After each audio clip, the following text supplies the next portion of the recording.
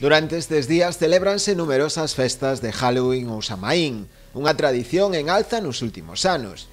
Xa non vale cunha simple perruca e unha capa, e a xente cada vez dedica máis horas do seu tempo á elaboración do seu disfraz, no que se inclúe tamén a maquillaxe. En dúo estilistas en Boiro saben ben do que falamos.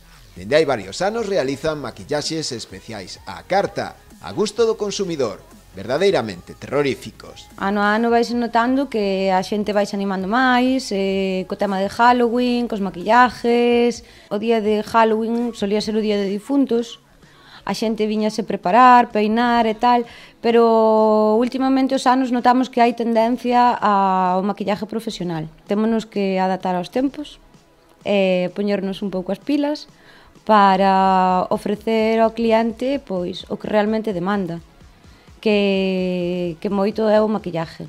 O que máis triunfa son as feridas, os cortes ou as queimaduras. Facelo leva un par de horas de intenso traballo. Cortes, queimaduras, efectos especiales é o que máis demanda a xente, porque para facelo na casa para eles é algo moi complicado.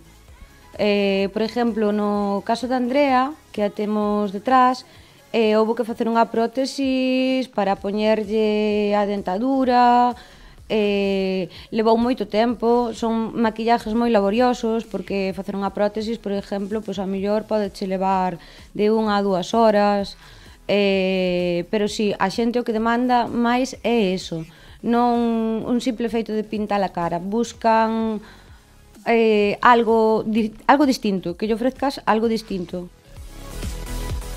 Unha maquillaxe deste tipo ten un custe que pode rondar os 30 euros. Todo depende do que se queira gastar e os complementos a maiores que se desexen facer. Baratos non son. Nos intentámonos adaptar un pouco a zona onde vivimos, aos salarios que temos, etc. etc. Un maquillaxe do máis sencillo, como, a ver, o meu leva sombreado e tal, pero xa sería un mínimo de 30 euros, lentillas aparte... Este é o resultado final. Maquillaxe profesional para unha noite tamén especial. Feliz Halloween, ou para aqueles máis tradicionais, Bosa Maín.